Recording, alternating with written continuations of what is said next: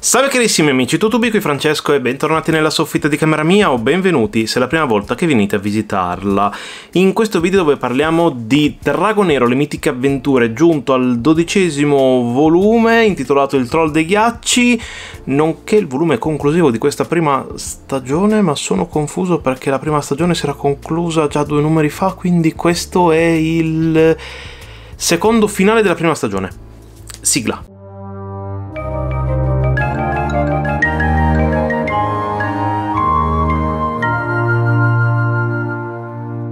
L'editoriale iniziale ci riporta infatti questa comunicazione, che ovvero sia eh, si è conclusa la prima stagione delle mitiche avventure. Boh, non ho capito questa mossa da Sergio Bone, l'editore, proprio stranissima, anche perché la prima stagione si era conclusa già ai tempi degli spillati, hanno riproposto tutte le storie in spillato imbrossurati, quindi ci avevano fatto intendere che quelle che avevano iniziato come inedite erano parte integrante della seconda stagione, ma in realtà no va bene, ce la facciamo andare bene così. La prima storia di apertura del volume I Troll dei Ghiacci di Luca Enoch ai testi, Francesca Aureli alle matite, Giulio Zeloni ai eh, colori. Un'avventura dove i nostri protagonisti giungono in questa valle remota, in questi monti deserti fondamentalmente, dove andranno alla ricerca di uno degli elementi anche ricercati dal burattinaio. Si ritorna sulla trama principale, quindi i nostri contro il eh, burattinaio, in una serie di disavventure, avventure molto rocambolesche, molto d'azione, molto divertenti, con alcune gag piuttosto riuscite.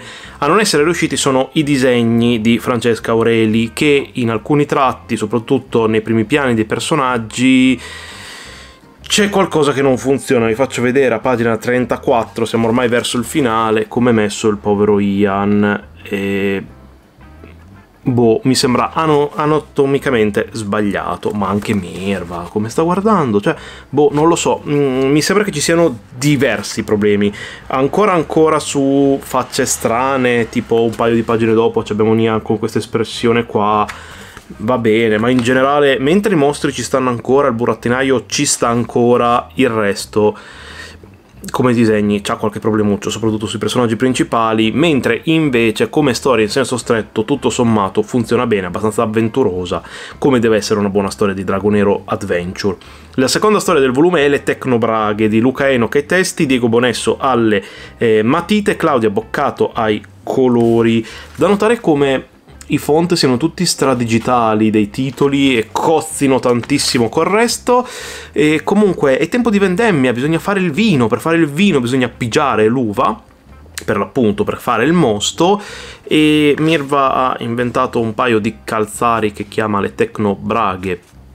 Perché le tecnobraghe? cioè alla fine cioè sono braghe tecnologiche, quindi sono pantaloni tecnologici, ma in realtà sono i piedi di un robot fondamentalmente, di una macchina che dovrebbero aiutare a eh, fare il mosto, ma creeranno un po' di confusione, un pochettino di disordine, di caos. L'ultima storia del volume è La festa degli orchi, Luca Enoch ai testi, Quirino Calderone alle matite, Tiziana De Piero ai eh, colori per una storia che vede i nostri protagonisti alla fin fine andare ad una festa con Gmor e gli altri orchi e vedere un po' le usanze tipiche degli orchi. In realtà come storia è molto molto tranquilla, niente di eh, incredibile, ma risulta piuttosto carino in realtà vedere come il mondo di, ehm, di, di, di Dragonero sia così vivace, pieno di tante mitologie, piene di tanti piene di tante razze e sottoculture, come queste siano più che diversificate. A chiudere l'albo la posta con alcuni disegni di alcuni eh, lettori e la riproposizione delle copertine originari degli spillati. Fine.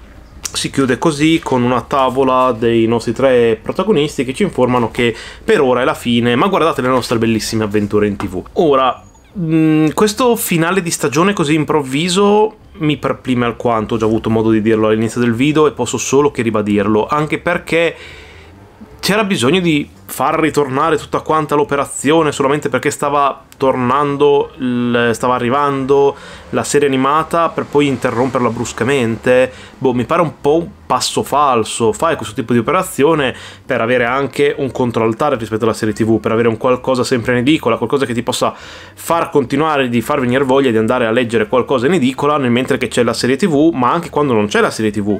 l'interromperla così bruscamente mi ha lasciato alquanto perplesso. È vero che su eh, preview il canale di anteprima di Bonelli e Bao non era più presente un tredicesimo numero, quindi potevamo sospettare qualcosa, e altresì vero che non abbiamo la sfera di cristallo, non è che possiamo immaginarci cose fantasmagoriche. Quindi peccato, un albo che mostra un po' quel che è il Dragoniero le mitiche avventure, storie di avventura fondamentalmente con protagonisti molto giovanili e un po' di quotidianità di questi personaggi estremamente giovani che non sempre riescono a fare realmente breccia nel cuore del lettore più adulto, spero lo riescano a fare nel cuore del lettore più giovane. E questo è quanto ho da dire di Dragoniero le mitiche avventure, di questo numero in generale e un po' anche di questa serie, che è stata tutta un, un po' saliscendi. In alcuni momenti è stata anche molto avvincente, l'avventura è comunque sempre piacevole a qualsiasi età, quindi non serve essere giovani per apprezzare una storia d'avventura. Dall'altro lato mi, res- mi sono reso conto a più riprese quanto alcuni capitoli fossi io a non essere in target e fossi io a dovermi un po' accontentare di quello che stavo leggendo, giustamente visto che il pubblico di riferimento era tutt'altro. Una buona lettura sicuramente adatta e che, e che può coinvolgere lettori più giovani, magari proprio quelli che hanno visto la serie animata e vogliono avere qualcos'altro in più, capire qualcosa in più dei loro beniamici, dei loro... si dice beniamici? O mi sto flippando con Pokémon Scarlatto e Violetto il DLC. In ogni caso, questo è quanto voglio dire per voi per oggi. Ci si vede, ci si legge nello spazio commenti YouTube qui sotto. Vi posso dire che mentre leggevo il volume ero anche indeciso se fare il video o meno, ma poi mi sono detto è l'ultimo volume, perché non farci un video? Perché non farci il... l'ho fatto finora, perché saltare proprio l'ultimo? Però non fosse stato l'ultimo, probabilmente avrei evitato di fare il video, ve lo dico proprio candidamente. Detto questo, ci si legge nello spazio commenti di YouTube qui sotto, da Francesco, dalla soffitta di camera mia, è davvero tutto e noi ci vediamo in una prossima video opinione del canale. Ciao!